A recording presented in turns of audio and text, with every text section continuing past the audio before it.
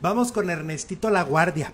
Fíjate que Ernesto La Guardia terminó con, con muchos problemas de salud ahora que acabó este Coronita de Lágrimas. ¿Quién? Ernesto La Guardia. Ernesto La Guardia. Fíjate que terminó con tres fracturas en la pierna Oh, y yo no sé si eso lo hace incivilizado. Te voy a contar. Ernesto La Guardia siempre ha sido bien mamuco, Sí, pero difícil. A mí me dejó hablando solo aquí. un día. Ajá. Y un día le dije, oye Ernesto, que no sé qué, topándomelo, en- iba caminando, le hablo y haz de cuenta que no le habló nadie, que era yo el, el fantasma de Vicente Fernández. Y entonces siguió caminando. Así era de lépero, muy majadero. Pues me dicen que ahora en Corona, cero vivo, cero problemas, ya no trae asistentes, o sea, ya anda él así como muy tranquilo, muy es un hombre nuevo.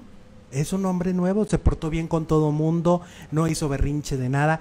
Yo digo, más bien ya entendió que ya no es el protagonista. Pero oye, pero ¿desde cuándo no es el protagonista? Desde quinceañera, casi, casi. ¿Qué se oye? Exacto.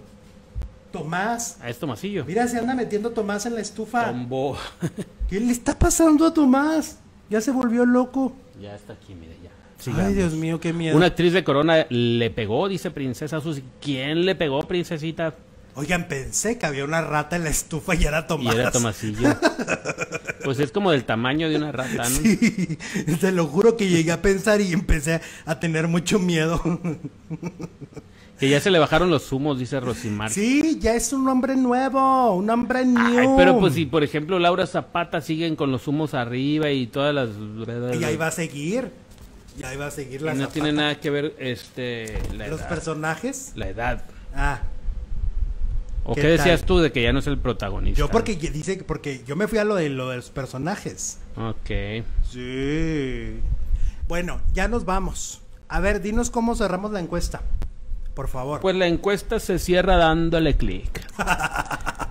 y dice así, ¿ya, Andas vis- de un chistoso.